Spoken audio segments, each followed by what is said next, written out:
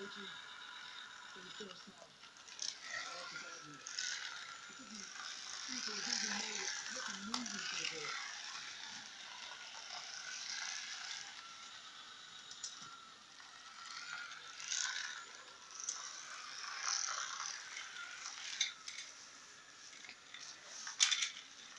don't put that big one.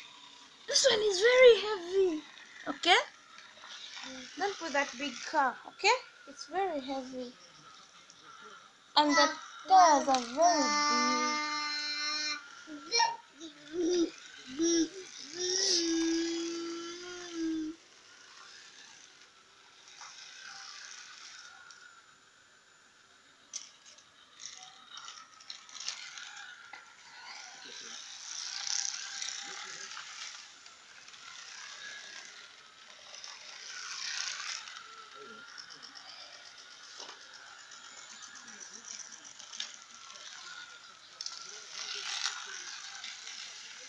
what's wrong your leg?